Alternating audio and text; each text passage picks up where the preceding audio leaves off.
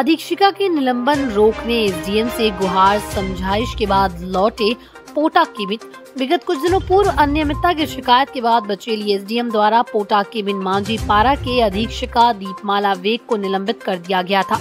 निलंबन के विरोध में पोटा केबिन की छात्राओं ने मोर्चा खोल दिया। रविवार को वो आवासीय विद्यालय के सामने धरने पर बैठ गए, जिसके बाद शिक्षा विभाग के उच्च अधिकारियों की समझाइश के बाद सभी छात्राएँ शाम को हुई, पर सोमवार तड़के पोटा केबिन की दीवार फांद कर बचेली स्थित एसडीएम कार्यालय पहुँची। इस दौरान छात्राओं के गायब होने से पोटा केबिन में हड़कम मच गया। सभी बच्चों की तलाश में जुट गए। इतने में सूचना मिली कि सभी 20 से 30 छात्राएँ निलंबित अधीक्षिका के निवास पर पहुंचकर वापस आने की मांग कर रही थी। छात्राओं की मांग है कि निलंबित अधीक्षिका को वापस पोटा केबिन में पदस्थ किया जाए। इस दौरान मौजूद BRC C Nagesh BEO DR Dhruv DMC S L Sori ने छात्राओं से चर्चा की जिसमें अध्ययनरत तीन सौ अट्ठावन छात्राओं के लिए मात्र सात शिक्षक हैं।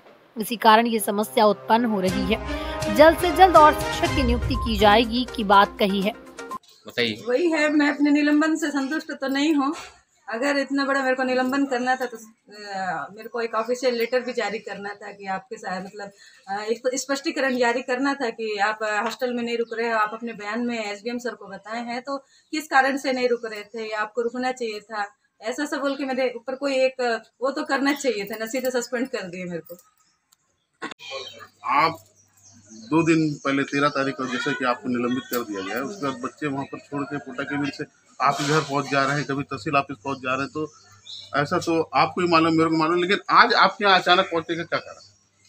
हाँ बच्चे ही बता सकते हैं। मम्मी बच्चे तो- चलिए बोले ना हाँ मेरे को सस्पेंड किया गया है हाँ। अधीक्षक पद से। हाँ, हाँ। तो बच्चे उसे ले आए होंगे। अब मेरी गलती तो थी मैं मान रही मैं अपनी गलती स्वीकारी ऐसा नहीं है कि मैं नहीं स्वीकारी। तो आपको कार्रवाई- प्रशासनिक कार्रवाई से संतुष्टि है? संतुष्टि तो नहीं है इतनी बड़ी कार्रवाई मेरे साथ नहीं होने था आप मेरे मैं 2014 में यहाँ ट्रांसफ़र में आई मैं लौंडीगुड़ा में थी पहले। वहाँ से लेके आज आज तक का आप मेरा ट्रैक रिकॉर्ड निकाल दीजिए। कहीं अगर मैं कुछ गलत की हूँ या मेरे से कहीं गलती हो चाहे जब मैं टीचर थी तब का आप मेरा निकाल लीजिए या छह साल से जो मैं अधीक्षक हूँ तब का निकाल। मेरे बच्चे मेरे सामने पूछ लीजिए। खाने पीने कपड़ा लत्ता जो भी सुख सुविधा में अगर मैं बच्चों को कमी की हूँ। बच- बड़ा नाम। मैं अंशप्रिया भास्कर अधीक्षिका कोटा के बिंदु चले मैं कल ही पद पदभार ग्रहण की हूँ और बच्चे गेट से बाहर चले गए थे तो मेरे को सुबह छः बजे पता चला। तो बच्चों को पेरेंट्स को बुलाए हैं। बच्चों लोग को समझाइश देके और पेरेंट्स को जो भी है समझाइश देंगे। बच्चों लोग को बता देंगे कि आइंदा ऐसा ना। लक्ष्मणी? मुझा की मुंचा की जी। कौन सी क्लास में? एट। एट्थ क्लास जी। वहाँ कितने साल से रह रही है के मैं तो पूरा इसके साथ मतलब सात साल और रह रही सात साल जी दूसरी से लेकर आठ तक। दूसरे से लेकर आठ। कहाँ के रहने वाली? है मैं हाँ? दिलमिली से आई दिलमिली से आई जी।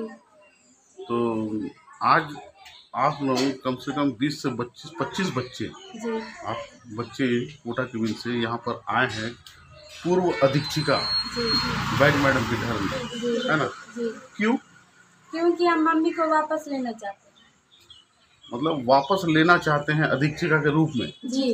है ना? जी। तो उनको वहाँ से क्यों हटाया गया? हम लोग को बताई भी ना हटा दिए। एक बार तो पूछना चाहिए ना हम लोग अधीक्षिका को हटा रहे हैं करके तो हम लोग को बताई भी नहीं ऐसे ऐसे हुआ करके होता है नहीं ठीक है आप यहाँ तक बिल्कुल सही बोल रही हैं। परंतु ये प्रशासनिक कार्रवाई है। क्या कार्रवाई है? प्रशासनिक कार्रवाई। जब तुम्हारा एग्ज़ाम होता है तो हर बच्चे को अलग अलग क्वेश्चन पेपर दिया जाता है। ना कि ये पूछ के कि ये क्वेश्चन पेपर तुम तैयार बना पाओगे क्या? ऐसा है होता है क्या? नहीं होता है ना? तो ये प्रशासनिक कार्रवाई तो उसमें आप इस अधीक्षिका को क्यों लेना चाहती है वापस? मैं लेना चाहती हूँ। बुलाने क्यों वापस क्यों बुलाना चाहती है? क्योंकि हम लोग बचपन से मतलब जैसे घर वाली मम्मी है वैसे देखभाल करते जो सामान नहीं रहता वो सामान ला के देती है। इसलिए हम मम्मी को कौन नहीं चाहते ना मैं यही चीज़ देखना चाहती हूँ। मम्मी को हम लोग वापस लेना चाहिए अच्छी छोटे से लेकर बड़े बच्चे लोग मम्मी मम्मी करके पुकारते आए और अब मतलब हम लोग मम्मी को ऐसी दूर रख के हम लोग क्या करेंगे? नहीं ठीक है। अभी जो दीक्षिका मैडम आई है उनके साथ आप समय बिताई हो? नहीं।